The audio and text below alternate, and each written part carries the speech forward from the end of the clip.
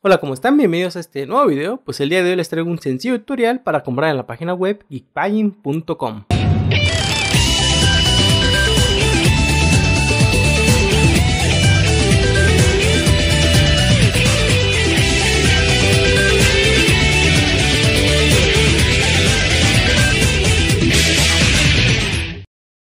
Si tú estás suscrito a este canal seguramente ya conocerás que yo compro mucho en esta página web de electrónica de consumo, ya que tienen una cantidad pero enorme de artículos relacionados a electrónica de consumo como celulares, tabletas, consolas, TV boxes, audífonos, cámaras, drones y todo lo que puedas imaginarte de electrónica de consumo y computación. Incluso aquí he comprado hasta discos duros externos y cables para la computadora. Eh, esta página web yo la descubrí hace un par de años buscando una consola con Android y desde luego lo primero que hice fue eh, pues verificar si la gente pues le tenía confianza a esta página a través de su, de su perfil en Facebook y como puedes ver pues ya hay miles de personas que, que compran en esta web. También los puedes encontrar en otras redes sociales como Google Plus, Facebook eh, o YouTube. En cuanto a métodos de pago que acepta esta página web, pues eh, acepta PayPal, que es la que yo les recomiendo siempre, y tarjetas de crédito como son las que sean Visa, Mastercard o American Express, que pues, prácticamente cubren todas. Eh, métodos de envíos tienen envío gratuito y envío de pago. En caso del envío de pago es por DHL o por EMS. El gratuito es por correo aéreo, pero ese yo nunca lo recomiendo. Creo que vale la pena siempre invertirle un poquito más para que el producto llegue más rápido. En cuanto a la página web, como puedes ver está muy bien organizada. Tienes hasta arriba un menú de categorías donde vas a poder encontrar pues eh, diferentes categorías de acuerdo a lo que tú estés buscando. Desde tabletas, teléfonos, cosas de electrónica de consumo, cosas para la casa, cosas para el deporte, para el coche, etc. Y también tienes una pequeña serie de secciones donde te dice pues los nuevos productos, que han llegado a la página, los que mejor se están vendiendo, eh, las marcas más vendidas, las promociones que hay en, ese día en específico, etc. Digamos que queremos comprar un teléfono. Si tú le damos clic a la parte de teléfonos, te va a mostrar eh, primero que nada pues este pequeño submenú donde puedes filtrar de acuerdo a diferentes criterios, como por ejemplo la marca, el tamaño del teléfono, la versión del sistema operativo con el que cuente, su memoria RAM, el procesador, etcétera tienes ahí bastantes eh, opciones por las cuales tú filtrar tu contenido. Por default te va a mostrar la página que dice Best Match, que quiere decir que son los teléfonos o los productos, en este caso sí teléfonos, que la gente está visitando más, está mostrando más interés o que incluso está comprando más. En este caso tú puedes ver ahí que ese producto lleva el día de hoy dos, eh, por ejemplo, te dice ahí el número de ventas que llevan hasta ese día, eh, hasta ese momento es la calificación de los usuarios que han reseñado estos productos, como puedes ver, todos siempre con 5 estrellas, así como eh, la cantidad de visitas que ha tenido y el precio. Por, default te va a aparecer en dólares el precio la primera vez que entras en la página, pero eh, pues yo ya la tengo configurada para que lo muestre en pesos mexicanos.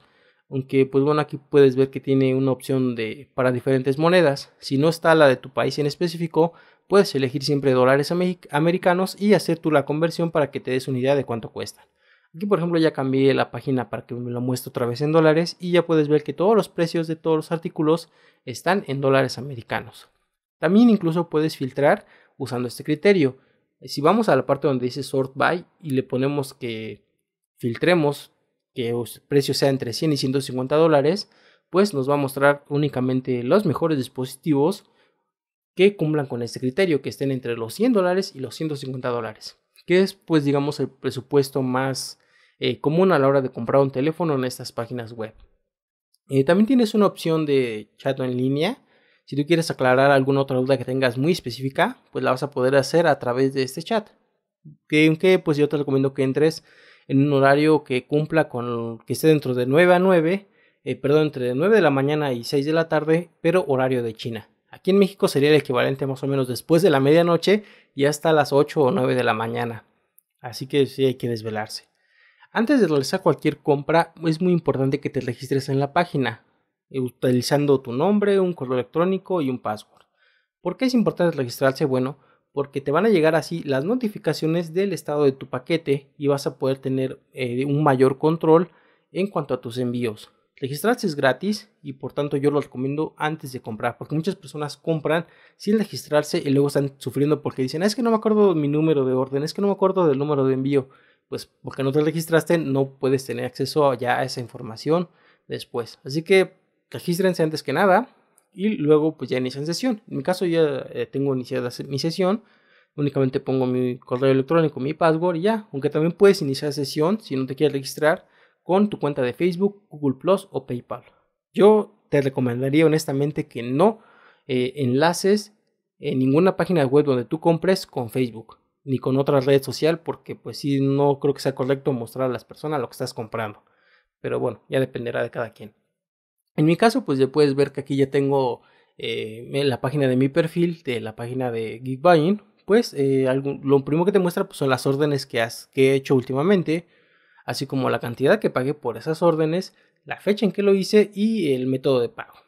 Es, esto es una, digamos que para llevar un control de tus, eh, de tus compras. Por si después quieres le comprar un producto, como yo a veces lo he hecho, que luego me preguntan, oye, ¿dónde compraste tal cosa? Pues ya voy a mis órdenes y me fijo cuál producto compré y les mando el link directo a las personas que me lo pregunten. Eh, digamos que, pues digamos, sigamos con el ejemplo de comprar un teléfono celular. Aquí el teléfono, el tema de los teléfonos con Android, esto hasta en las marcas más conocidas pasa, no se actualizan. Por tanto, yo te recomiendo comprar cualquiera de estas marcas que están hasta acá arriba, por algo están ahí, son las más buscadas porque son las que normalmente dan un mejor soporte al teléfono. En cuanto a versiones de Android, definitivamente estamos en 2015, ya no podemos comprar de 4.x para abajo, no. Solamente te recomiendo comprar teléfonos con Android 5.0 o 5.1, que son las dos versiones más recientes del sistema operativo, que ya son Lollipop, que puedes encontrar actualmente. Porque recuerda y ten muy presente esto, el teléfono que compres probablemente en esta página no se va a actualizar. Con el sistema operativo con el que te va a llegar es con el que se va a morir. Así que lo mejor siempre es tener el más reciente. Ahora bien, yo también te recomiendo que hagas un segundo filtro que sea por la opción que dice New Arrival, que quiere decir pues, que son los productos más nuevos que le están llegando a las páginas. En este caso te, va a ordenar los, teléfonos de acuerdo a la fecha en que ellos eh, les está llegando el producto. Algunos incluso vas a encontrar que todavía están en preventa, como el, como el Elefone P8000 que todavía no está a la venta, pero ya lo puedes ir reservando. Eh, esto también es muy bueno porque si digo, en este caso de teléfono siempre es mejor tener el más actual con el sistema operativo más actual. Porque, una vez te lo repito, estos productos probablemente ya no se actualicen y desde luego eh, tener un producto más nuevo, con una versión del sistema operativo más nueva, pues te va a garantizar que el teléfono te va a durar por más tiempo. Aquí puedes ver eh, abajo de cada foto de producto un pequeño resumen resaltando algunas de las características que tiene el terminal.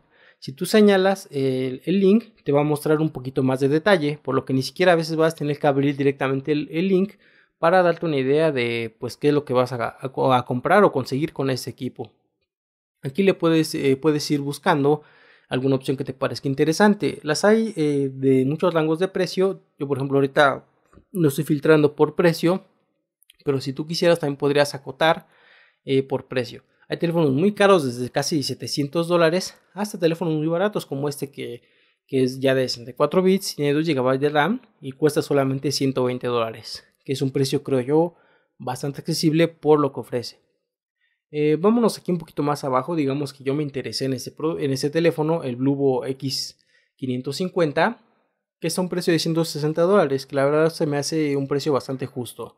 Yo siempre recomiendo comprar eh, teléfonos entre 150 y 200 dólares, que son los que normalmente te ofrecen una muy buena experiencia de usuario. Aquí como puedes ver en la página del producto, lo primero que te vas a encontrar es su nombre obviamente y una pequeña galería donde tú puedes ver imágenes del producto para que veas si pues, te gusta o no. En este caso también puedes leer algunas especificaciones técnicas así como el precio.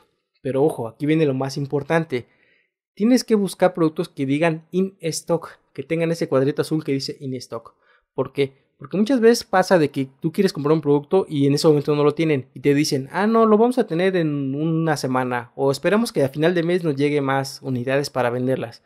Y aquí yo te hago un consejo, te doy un consejo muy eh, que me ha servido mucho.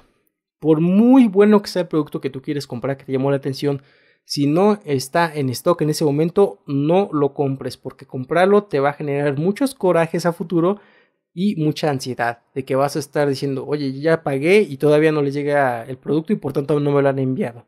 Y pueden pasar meses. Y al final puede que incluso te lleguen a decir, ¿sabes qué? Que ya no nos llegaron más unidades, te hacemos tu devolución del dinero, pero ya te quedaste un mes esperando un producto que nunca, nunca realmente vas a tener. Eh, pues bueno, eh, si tú quieres más detalles todavía, en la parte de abajo vas a encontrar las especificaciones técnicas. Y esto pues yo te recomiendo que siempre las leas porque hay unos puntos que son muy importantes que tomes en cuenta. Quizá el sistema operativo pues obviamente tú ya filtraste, pero aquí te están diciendo que tiene Android 5.1. Ya te lo está confirmando que sí lo tiene. En cuanto al procesador, te dice a qué versión es y a qué velocidad corre. Aquí dice que corre a 1 GHz y es de 4 núcleos. No es un teléfono muy rápido, pero te, pues te da una idea de que ya siendo de 64 bits va a ir un poquito mejor que los teléfonos tradicionales de 32 bits. La que dice ROM es la memoria interna y la que dice Extended Storage es hasta cuánta memoria le puedes adicionar.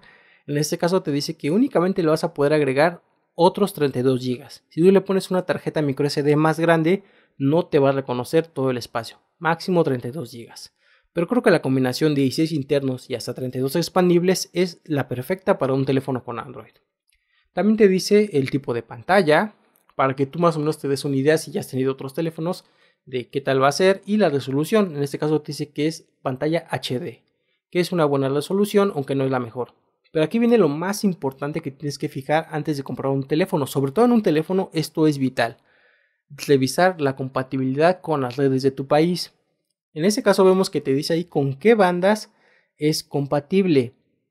Y tienes que revisar que la compañía de teléfono con el que tú, la que estás usando ahorita actualmente, sea compatible. Por ejemplo, aquí te dice que en México usamos para el 3G, usamos la banda 850.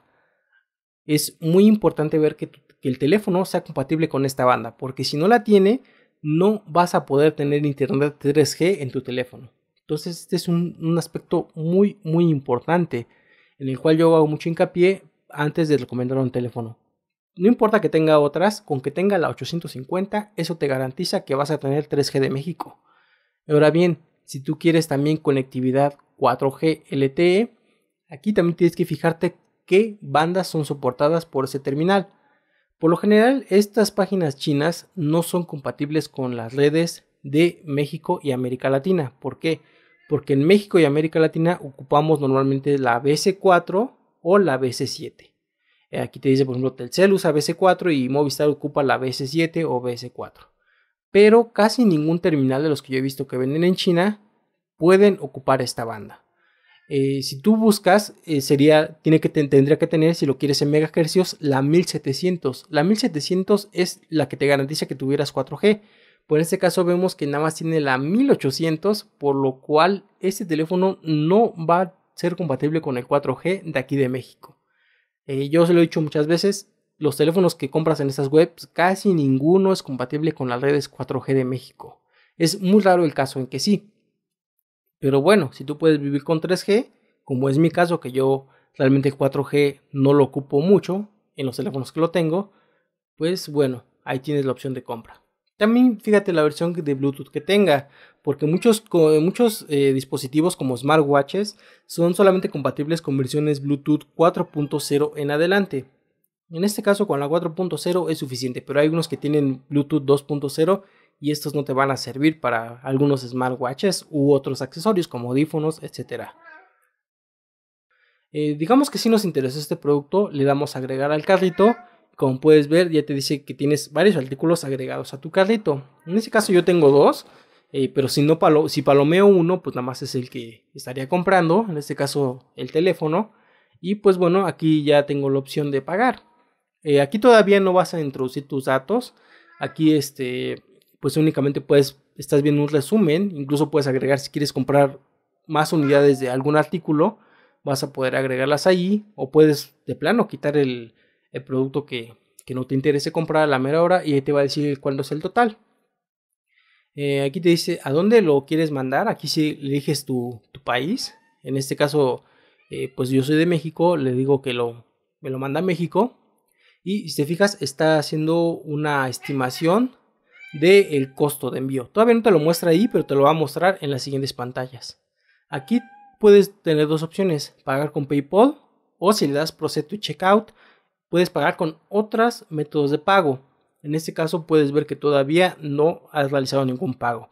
Aquí le dices, por ejemplo, eh, vamos a darle clic a alguna de estas opciones y nos va a llevar a una página correspondiente. Por ejemplo, si le damos Process con, con PayPal, pues nos va a abrir ahí la página de PayPal para que tú pongas tu, tu, dirección de PayPal, tu correo, tu contraseña, inicia sesión y autorizas el pago. Ya con esto el producto se va a enviar a la dirección que tú hayas puesto en PayPal.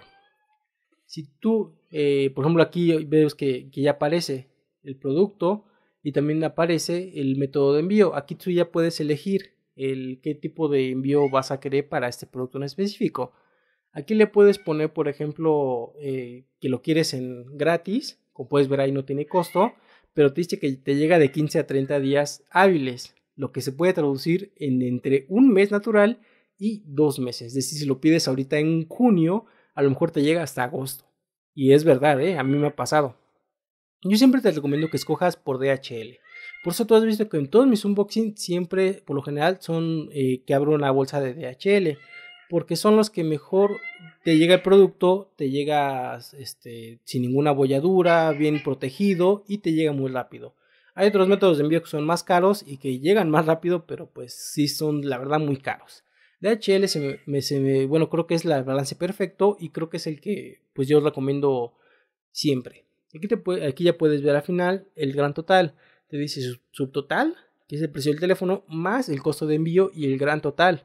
Y ahí todavía tú puedes arrepentirte y decir, no, ¿sabes qué? Se me hace muy caro. No. Pero si tú ya estás convencido y quieres comprar ese terminal, pues le das ahí este submit y en ese momento se te hace el cargo a tu cuenta de PayPal o a tu tarjeta de crédito según lo hayas configurado. Pues bueno, ha llegado el momento de pasar a la ronda de preguntas y respuestas acerca de las dudas más comunes que seguramente va a tener las personas que hagan su primera compra en línea y los entiendo porque yo también tuve esas mismas dudas y porque a diario me llegan comentarios, preguntas en mi canal de YouTube y en las redes sociales preguntándome sobre estos temas. Así que vamos con la más común de todas, que es el tema de aduanas. La mayoría de mis suscriptores siempre han tenido esa duda. ¿Qué pasa con aduana? ¿Qué pasa con aduana? ¿Qué pasa cuando me retienen el paquete o me van a retener el paquete por alguna razón? La respuesta es no. Si tu país tiene tratado de libre comercio con China, que es el origen de esta tienda, de Geek Buying, pues no vas a tener ningún problema. Yo en mi caso de, México llevo años comprando en esa página y nunca me ha retenido aduana un solo paquete. Sin importar el contenido, el tipo que sea, porque he comprado varias cosas, ni el peso ni la cantidad. No hay ningún problema. Otros suscriptores que me han hecho esa pregunta y después me han platicado su experiencia, que son de España, que son de Chile, que son de Perú, que son de Colombia, de Venezuela, incluso de Estados Unidos, me han dicho no hemos tenido problemas con la aduana. Por tanto, yo pienso que es un tema del que no deberías de preocuparte. Un punto número dos, los envíos. Sobre los envíos me preguntan mucho, oye, ¿y quién me lo manda? ¿A dónde tengo que ir a recogerlo? ¿Me llega a mi casa? La respuesta es sí. Todos los paquetes que compras llegan a la puerta de tu casa o a la dirección que tú hayas especificado. En, va a depender quién te lo entrega, depende de qué método de envío hayas elegido. Si tú elegiste el método de envío gratuito, te lo va a entregar la oficina de correos de tu país. En el caso de México es Correos de México.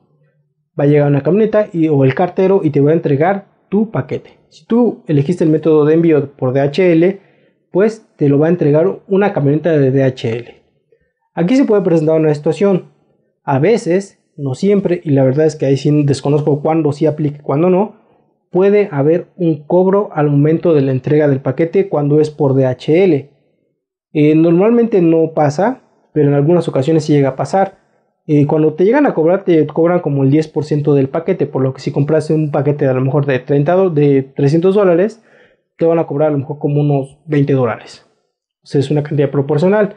Es muy raro que pase, pero sí llega a pasar. Y en todo momento viene ahí una etiqueta indicando que se va a hacer el cobro. Em, otra cosa que me preguntan mucho es, ¿qué pasa si nadie está para recibir el paquete? Pues bueno, no hay de qué preocuparse.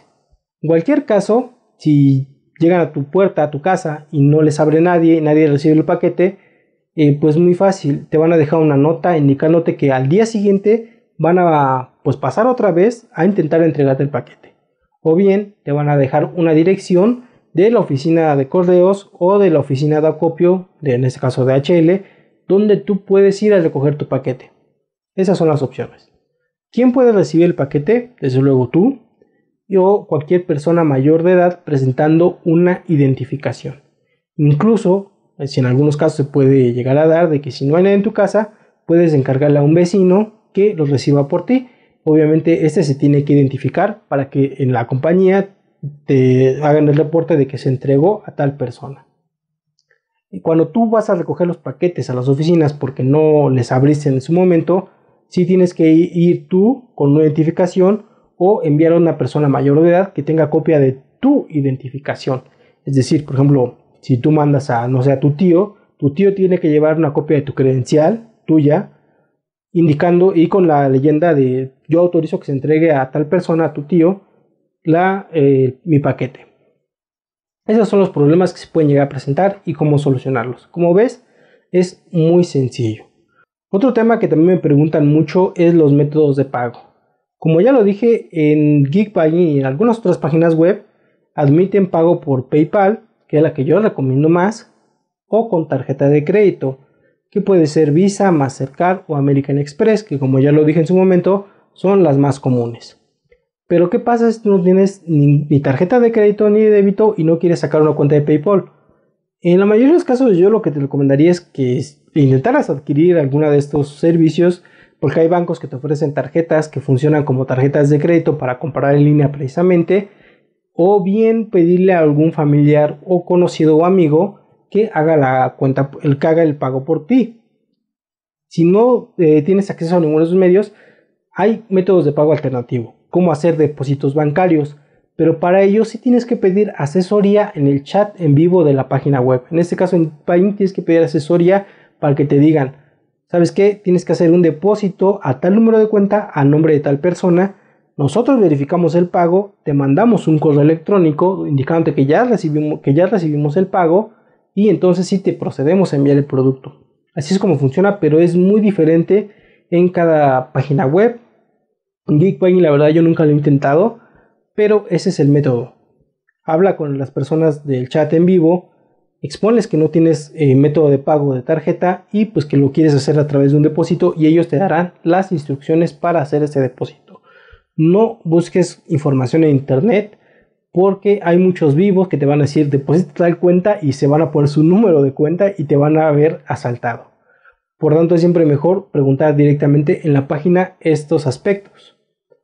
Aclarado esto, pues bueno, insisto, las recomendaciones, trata de conseguir una tarjeta de PayPal pero una cuenta de PayPal o mm, que, tiene la ventaja, por ejemplo, la tarjeta de PayPal tiene la ventaja de que puedes poner una tarjeta de crédito o de débito, o bien consigo una tarjeta de crédito de estas que te platico, que muchos bancos ya la están manejando. Y pues bueno, el último punto aclaratorio es que este tutorial lo hice pensando en la página web geekbuying.com, la tomé de ejemplo, pero la verdad es que aplica para casi cualquier otra web china que venda electrónica de consumo, como por ejemplo Focal Price, como por ejemplo Banggood, Pandawheel, como Gearbest, Tiny Deal, tú dime cuál.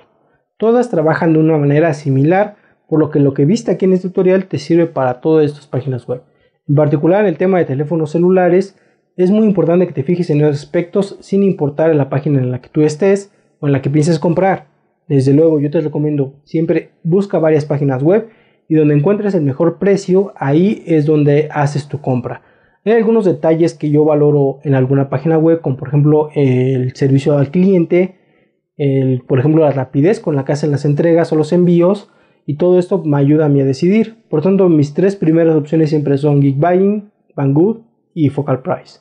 Son las que mejor me han dado resultado a mí y son las que yo más les recomiendo. Además, tú has visto en mi canal que siempre menciono la página web donde he comprado cada producto que reseño para que así tú también puedas ir y comprar estos mismos artículos, si es que te han gustado, si es que te han interesado.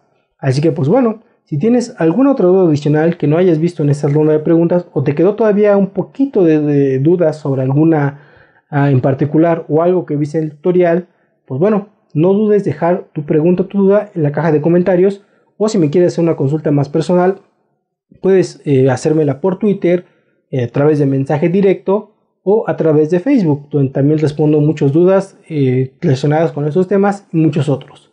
Así que, pues bueno, si no lo respondo yo, seguramente alguien de la comunidad también nos hará el favor de responderte tu duda, sobre todo si tú eres de algún otro país diferente a México, habrá a lo mejor algún suscriptor que sea del mismo país que tú y te pueda ayudar con una experiencia más local. Así que pues bueno, creo que ha sido todo. Nos estaremos viendo en el próximo video, que será un tema pues completamente diferente. Nos vemos. Espero que te haya gustado este video. Si es así, pues no olvides dejar tu pulgar arriba para indicar que te ha gustado. Déjame tus comentarios o opiniones y desde luego te invito a que te suscribas a este canal para que sigas viendo más contenido. Si quieres también puedes buscarme en las redes sociales. Aquí van a estar apareciendo cómo me puedes encontrar en las diferentes redes sociales como Google Facebook o Twitter. Nos vemos en el siguiente video. En alguna ocasión alguno de ustedes me preguntó, oye Sergio, si yo te hago el depósito a ti y tú me compras el artículo, ¿a quién que tú ya sabes? Mi respuesta fue muy sencilla. Sí amigo, sí te puedo ayudar, pero te cobro 20 veces el precio del artículo y me tienes que conseguir una cita con una chica hermosa. Ya saben los requisitos.